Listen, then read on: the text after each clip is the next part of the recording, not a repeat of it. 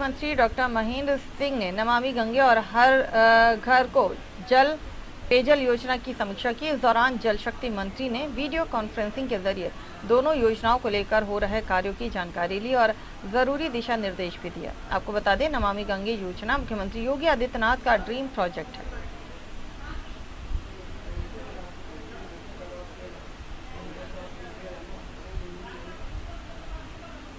रामनगरी अयोध्या में राम मंदिर निर्माण के लिए परिसर में